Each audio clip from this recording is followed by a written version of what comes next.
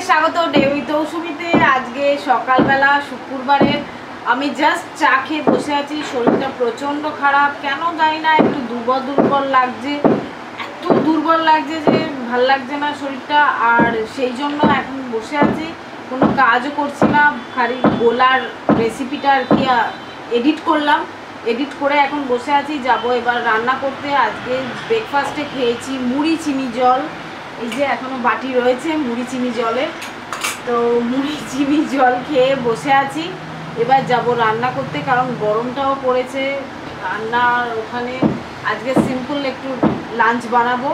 তো ডিনারের রেসিপি মানে ডিনারে যে তরকারিটা বানাবো, সেটা ডিনারেই বানাবো, কারণ আজকে আর ভালো লাগছে না সকালবেলা অতটা ঝামেলা পোয়াতে।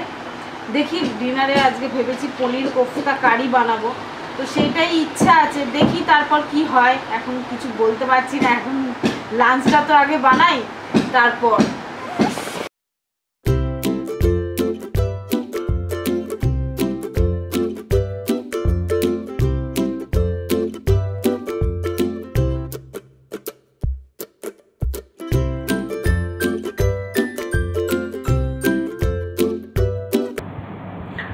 আমি এখন রান্নায় চলে এসেছি। অলরেডি আমি উচ্ছে ভাজতে বসিয়ে দিয়েছি। গোল গোল করে জাস্ট কুড়মুড়ে করে একটু উচ্ছে ভাজবো।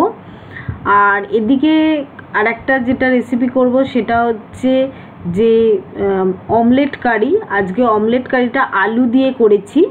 আমার বাংলা চ্যানেলে একটা অমলেট কারির রেসিপি আছে, কিন্তু সেটা আলু দিয়ে নয়, সেটা এমনি আছে। আজকে আলু দিয়ে করছি। আমি একসাথে পেঁয়াজ, রসুন, আদা আর টমেটো একসাথেই বেটে নিয়েছি। তাতে দিয়ে দিলাম একটু নুন। দিয়ে এটা ভালো করে কষাতে হবে। আর আলুগুলোকে আমি ভেজে নিয়েছি। আলুগুলো পাতলা পাতলা করে কেটে দিয়েছি। পেঁয়াজ, আদা, রসুনের যখন ভালো করে কষানো হয়ে যাবে, তখন মশলা দেবো। আমি ওই দিকের গ্যাসে ডিমটা ভেজে নিচ্ছি। ডিমটার সাথে একটু নুন আর একটু পেঁয়াজ দিয়েছি। দিয়ে ডিমটাকে অমলেট করে ভেজে নিচ্ছি। কারণ উচ্ছেটা আমার ভাজা হয়ে গেছে। অমলেটটাও ভাজা হয়ে গেছে, ভাজে আমি ওদিকে বসিয়ে দিলাম ভাত। আর এদিকেও মশলাটা অনেকটা কষানো হয়ে গেছে, তার মধ্যে দিয়ে দিলাম কাশ্মীরি রেড চিলি পাউডার, জিরে গুঁড়ো, ধনে গুঁড়ো। আর কাঁচা লঙ্কা যেহেতু মশলার সাথে বেটে নিয়েছি, তাই এখন আর লঙ্কা গুঁড়ো, ঝাল লাল লঙ্কার গুঁড়োটা দিলাম না। আর দিলাম হলুদ গুঁড়ো। দিয়ে এবার এটাকে ভালো করে কষাতে হবে।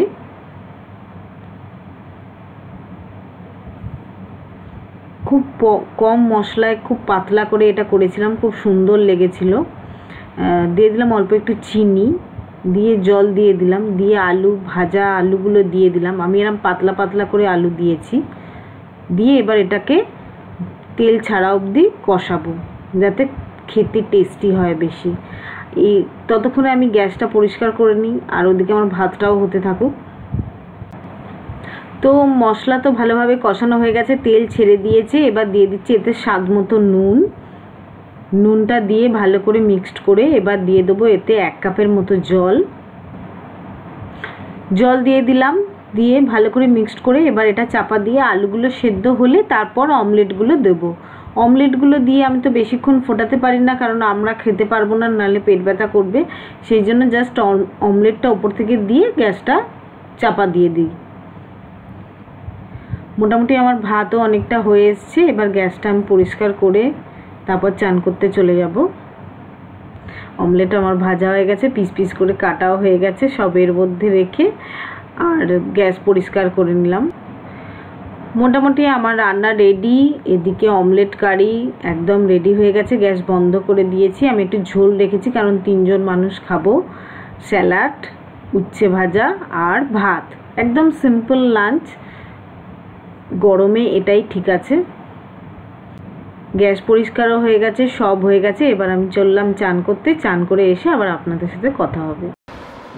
এই চান করে এলাম, এসে বসে আছি রান্নাটা হয়ে গেছে, কিন্তু আজকে যেহেতু আমাদের বাড়িতে মিস্ত্রি কাজ করছে, বুঝতেই পারছেন আওয়াজে, তো সেই জন্য লালটু আজকে বাড়ি আছে এবং যেটা প্রবলেম হচ্ছে যে সবার একসাথে বাড়ি, সেই জন্য সবাই একসাথে না খেলে হবে না। তো এমনি তিনটে বাজে এখন এখনও তো আসেনি, আমি অনেকক্ষণ ধরে চান করে এসে বসে আছি। ব্লগটা এডিট করছিলাম, সময় আছে কি করব বলুন? কিন্তু জানি না কখন খাওয়া হবে। তো যখন খাওয়া হবে তখন দেখাবো, আবার আপনাদের সাথে কথা বলব। আমি এখন বসে ব্লগটা এডিট করে নিই, কারণ কালকে তো এডিট করা হয়নি। নাহলে অনেক রাত্রি হয়ে যাবে আপলোড করতে করতে। তো তাহলে আবার একটু বাদে আপনাদের সাথে কথা হবে।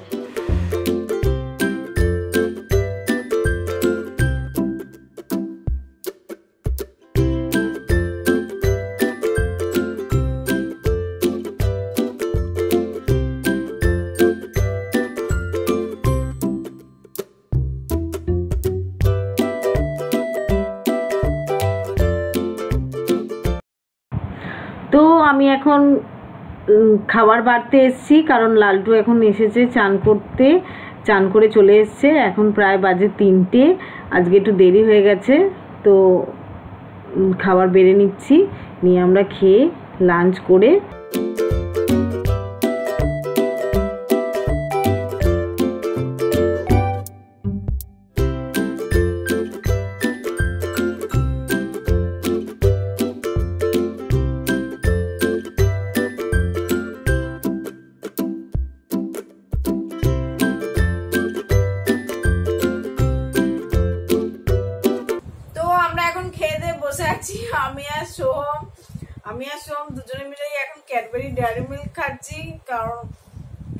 ক্যাডবেরি খেলে কিন্তু অনেক এনার্জি আছে। দেখবেন কাজে যখন লেজি ভাব লাগবে, তখন একটা এরকম ক্যাডবেরি খেয়ে নেবেন, অনেক এনার্জি পেয়ে যাবেন আর ভালো করে কাজ করতে ইচ্ছে হবে। তো সেই ব্লগটা যে আপনাদের জন্য ব্লগটা এডিট করতে বসবো, সেই জন্য আগে একটু ক্যাডবেরি খেয়ে এনার্জি নিয়ে নিলাম, নিয়ে এবার এডিট করতে বসবো। এডিট করে আপনাদের আপলোড করে দেখাবো। তো এটা এডিট করে আপলোড করে তারপর আপনাদের সাথে আবার কথা Thank তো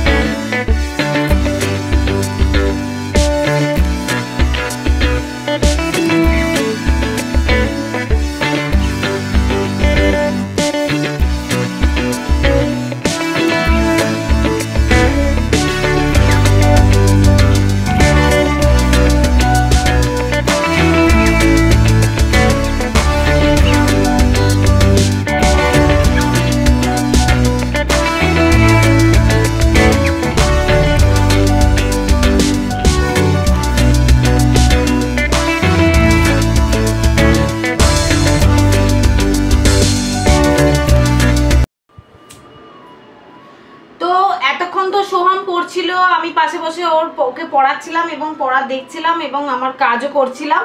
তো করতে করতে এখন রাত্রি প্রায় নটা বাজে, তো এখন আর দেরি করব না। চলো কোফতা কারিটা বানিয়ে নিই। কারণ কোফতা বানাতে বেশি সময় লাগে না, তো সেই জন্য আমি বেশি তাড়াতাড়ি বানাইনি। আর এখন নটা বাজে, এখন বানিয়ে নিই। বানাতে বানাতে মোটামুটি দশটা বেজে যাবে, কারণ তারপর আবার জল ভরা আছে। তো এই সবগুলো করতে হবে। এবার তারপর গা ধুতে হবে। গরমকালে রাত্রিরে রান্না করা মানে গা ধোয়া। ওই জন্য আমি রাত্রিরে রান্না করতে একদমই পছন্দ করি না। কিন্তু এই রেসিপিগুলো কি হয়, সকালবেলা করে রাখলে রাত্রিরে ঠিক খেয়ে মজা আসে না এবং খেতেও ভালো লাগে না। তো সেই জন্য এগুলো রাত্রিরেই বানাতে হয়, ডিনারেই বানাতে হয়। কোনো কোনো দিন তো স্পেশাল কিছু বানাতেই হয়। কি করব, কি করা যাবে বলুন? আর গরমকালে সবজি এমনিই কম, তো সেই জন্য এইসব রেসিপিগুলো অনেক সময় করতে হয়। তো চলুন আর দেরি না করে চটপট আর ডিনারটা বানিয়ে ফেলি। পনির কোফতা কারি বানানোর জন্য আমি এখানে পনিরটাকে গ্রেট করে নিয়েছি, আলুটাকেও গ্রেট করে নিয়েছি, নিয়ে নিয়েছি একটু ধনে পাতার চাটনি আর গোলমরিচ গুঁড়ো আর অল্প নুন দিয়ে এই মশলাটা পনিরের এটা রেখে দিয়েছি আর ওদিকে বেটে নিচ্ছি একটু রসুন, আদা টমেটো আর কাঁচা লঙ্কা। একসাথে বাটছি। পেঁয়াজ দেবো না। পেঁয়াজ ছাড়াই করব কারণ রাত্রিরে পেঁয়াজটা ঠিক ভালো লাগে না খেতে আমাদের। তো পেঁয়াজ ছাড়াই আমি এটা করব আজকে। দেখুন আপনারা কীরকম হয়। তবে আপনারা সেরকম ট্রাই করবেন। দিয়ে ওটা মিক্সিতে বেটে নেব। ওটা মশলা করব। এরপর এই মশলাটা করার পর আমি কাজু একটু বেটে নেব। কাজু আর তার সাথে পোস্ত দেবো, পোস্ত দিয়ে বাটবো একসাথে। এটা আগে বেটে নিই। তো কোফতা কারির করার জন্য মশলা তো বাটা হয়ে গেছে, এবার আমি এটা মাখবো। তার জন্য নিয়ে নিলাম কর্নফ্লাওয়ার। কর্নফ্লাওয়ারটা নিয়ে ভালো করে এটা মেখে নিতে হবে। বেশি না, টু টেবিল স্পুনের মতো কর্নফ্লাওয়ার দিয়েছি, আর একটা ডিশে কর্নফ্লাওয়ার দেখুন রেখেছি, ওটা কোট করব বাইরেটা। আমি লম্বা লম্বা করে করে নিয়েছি, আমার মাখা হয়ে গেছে। আমি ভিডিওটা বেশি ফাস্ট করিনি, কারণ যাতে আপনারা বুঝতে পারেন এবং আপনারা এই রেসিপিটা ট্রাই করতে পারেন। তো এবার আমি গোল গোল করে ল্যাংচার আকারে গড়ে নিয়েছি। আজকে ভেজিটেবিল চপ যেরকম হয় সেরকম করে করেছি। নানা রকম শেপে করা যায়, সেটা আপনাদের পছন্দ অনুযায়ী করবেন। এরম লম্বা করে করে নিয়ে তারপর এটা কর্নফ্লাওয়ারে আমরা কোট করে নেব, নিয়ে গরম তেলে ভেজে নিতে হবে।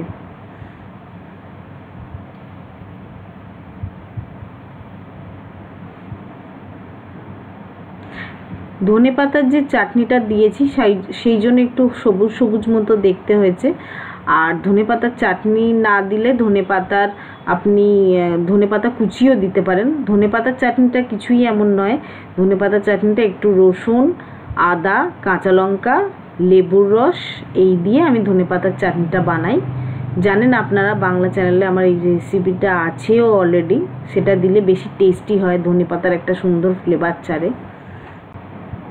তো এবার কোফতাগুলো আমি কিছুটা গড়ে নিয়ে আবার ফিরে আসছি। মোটামুটি আমার কোফতাগুলো অনেকগুলোই গড়া হয়ে গেছে। এবার আমি গ্যাস জেলে কড়া বসিয়ে তেলও দিয়ে দিয়েছি। তেলটা গরম হলে একটা একটা করে ভাজতে থাকব আর এদিকে গড়তে থাকব। তাতে সময়টা কম লাগবে। মোটামুটি আমি গ্যাস জেলে কড়া বসিয়ে তো তেল গরম হয়ে গেছিল, তাতে আমি একটা একটা করে কোফতা দিয়ে ভাজতে থাকছি। এগুলো মিডিয়াম ফ্লেমে হালকা লাল করে ভেজে নিতে হবে। তবে কোফতাগুলো সাবধানে দেবেন। আর একদিকটা হয়ে গেলে উল্টে পাল্টে সব দিকটা সমান লাল করে ভেজে নিতে হবে। তো কোফতাগুলো তো একদিকটা ভাজা হয়ে গেছে, এবার হালকা হাতে কিন্তু উল্টোতে হবে। বেশি কিন্তু নাড়াচাড়া করবেন না, তাহলে কিন্তু কোফতা খুব ভেঙে যাওয়ার চান্স থাকে।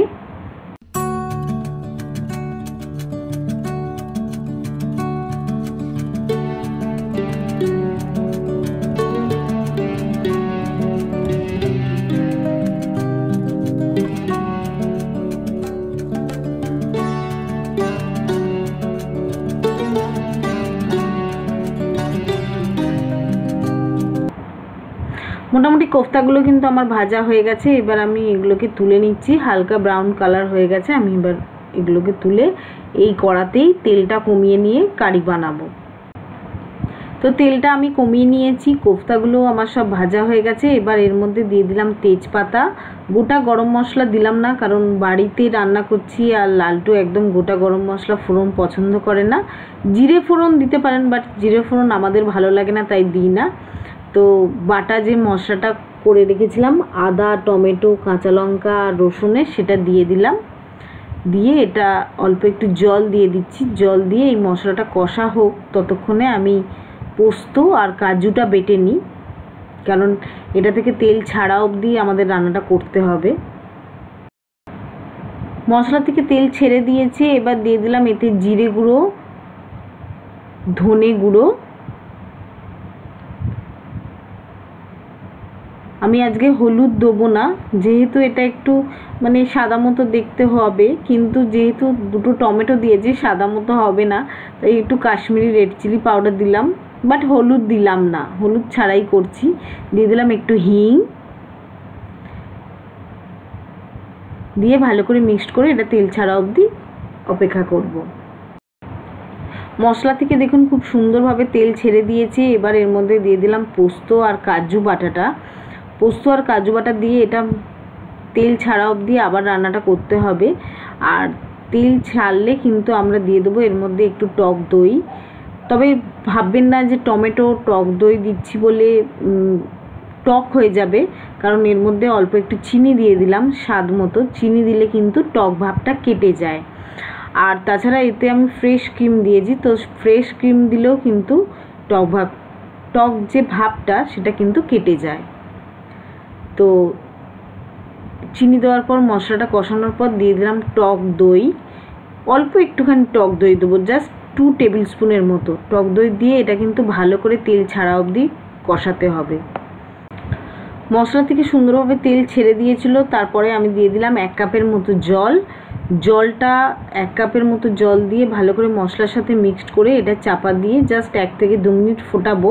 যাতে মশলার যে গন্ধগুলো সেগুলো যেন চলে যায় আর গ্রেভিটা ঘন হয়ে যায়। এবার এটা আমি চাপা দিয়ে দেবো। কোফতা কারিতে কিন্তু একটু জল বেশি দেবেন কারণ কোফতাগুলো ভীষণ ঝোল টানে। মোটামুটি দেখুন অনেক, দু থেকে তিন মিনিট ফোটানো হয়ে গেছে। এবার আমি ফ্রেশ ক্রিম একটু দিয়ে দিচ্ছি, টু টেবিল স্পুনের মতো। দিয়ে ভালো করে মিক্সড করে গ্যাসটা আমি বন্ধ করে দেবো। একটুখানি গরম মশলা গুঁড়ো দেবো অবশ্য। এটা আমার হোমমেড গরম মশলা গুঁড়ো। এটার লিঙ্ক কিন্তু ডেসক্রিপশান বক্সে দিয়ে দেবো, কারণ আমার বাংলা চ্যানেলে অলরেডি আপলোড করা আছে আর এটার টেস্ট কিন্তু খুব সুন্দর। গরম মশলা দিয়ে এক থেকে এক মিনিট মতো ফুটিয়ে নেব। এক মিনিট মতো ফোটানো হয়ে গেছে, এবার দিয়ে দিলাম কস্তুরি মেথি। আজকে আর রোস্ট করে দিলাম না, এমনিই দিয়ে দিলাম। কস্তুরি মেথি দিয়ে ভালো করে মিক্সড করেই গ্যাসটা আমি বন্ধ করে দিলাম। দিয়ে এবার এটা আমি ভাজা কোফতার ওপর দিয়ে দেবো। ভাজা কোফতা দিয়ে কিন্তু ফোটাবেন না, তাহলে কোফতাগুলো ভেঙে যাবে। কোফতাগুলো এরকম একটা ডিশে বা কোনো বাটিতে সাজিয়ে তার উপরে কারিটা ঢেলে দেবেন। দিয়ে এটা চাপা দিয়ে পনেরো থেকে কুড়ি মিনিট রেখে দেবেন। তাহলেই দেখবেন একদম কোফতাগুলো ঝোল টেনে একদম মাখা মাখা মতো, একদম দারুণ সফট হয়ে গেছে। এটা আমি চাপা দিয়ে রেখে দিলাম। দিয়ে গ্যাস পরিষ্কার করে আমি এবার গা ধুতে চলে যাব। আবার খাওয়ার সময় আপনাদের দেখাবো। আমি ওপর থেকে একটু ফ্রেশ ক্রিম ছড়িয়ে দিচ্ছি যাতে দেখতে সুন্দর হয় ছবি তোলার জন্য। সোহম বলল মা ছবি তুলবো একটু ফ্রেশ ক্রিম ছড়িয়ে দাও। তো চলুন এবার ডিনার করে নিই কারণ ডিনার আমার রেডি হয়ে গেছে গা ধোয়া হয়ে গেছে ড্রেস চেঞ্জ হয়ে গেছে এবার আমরা ডিনারটা করি কোফতাগুলো এখন নরম তুলতুলে হয়ে গেছে এতক্ষণ ভিজে একদম তুলোর মতো দারুণ টেস্টি হয়েছিল। আপনারা ট্রাই করে একবার দেখতে পারেন। উইদাউট অনিয়ন ভীষণ টেস্টি হয়। আর এর সাথে আমরা খাব আজকে রুমালি রুটি রুমালি রুটি এনে আমরা এখন এই খেয়ে বসে আছি। আজকের ব্লগটা এখানেই শেষ করছি। এখন প্রায় সাড়ে দশটা বাজে। আর কিছু করার নেই। এবার তো শুয়ে পড়ব। তো এই ব্লগটা তোমাদের কেমন লাগল অতি অবশ্যই জানিও। এই ব্লগটা যদি তোমাদের ভালো লেগে থাকে, অবশ্যই লাইক এবং শেয়ার করো। আর নতুন নতুন ভিউয়ার্সদের বলছি, আমার এই ব্লগগুলো যদি তোমাদের ভালো লেগে থাকে, অবশ্যই আমার চ্যানেলটাকে সাবস্ক্রাইব করবে। বেল আইকনটাকে টিপে দেবে যাতে নতুন নতুন ভিডিও আপলোড করলে তোমাদের কাছে নোটিফিকেশন যায়। Tata bye bye good night সবাই ভালো থাকবেন, সুস্থ থাকবেন। আবার নিশ্চয়ই কালকে আপনাদের জন্য ব্লগ বানাবো।